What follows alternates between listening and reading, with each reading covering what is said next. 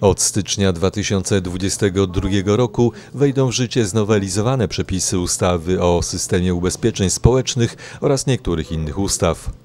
Mówiliśmy już o zmianach dotyczących kontroli przeprowadzanych przez Zakład Ubezpieczeń Społecznych.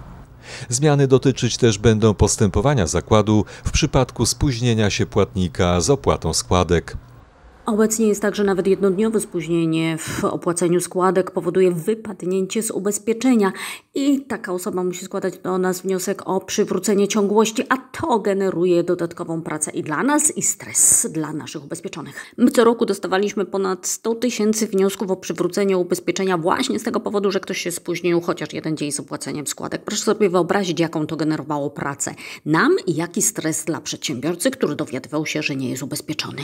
Ubezpieczenie nie będzie więc już ustawało na skutek nieterminowego opłacenia składek, choćby z powodu opóźnienia dokonania przelewu przez bank. Przedsiębiorcy będą mogli otrzymać świadczenia z ubezpieczenia chorobowego również w przypadku opłacenia składek po terminie. Kolejna zmiana dotyczy tych osób, które leczą się w szpitalu. Do tej pory dostają one 70% wymiaru. Od stycznia będzie to standardowe 80%.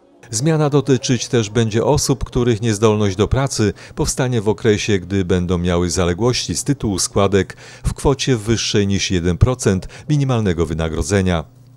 Nowe regulacje umożliwią otrzymanie zasiłku po spłacie zadłużenia. Prawo to ulegnie jednak przedawnieniu, jeśli zadłużenie nie zostanie uregulowane w ciągu 6 miesięcy od dnia powstania prawa do oświadczenia.